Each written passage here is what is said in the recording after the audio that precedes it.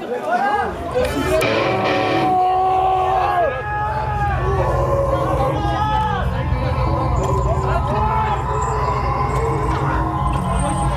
vous en avez encore sous le pied, Toulouse, là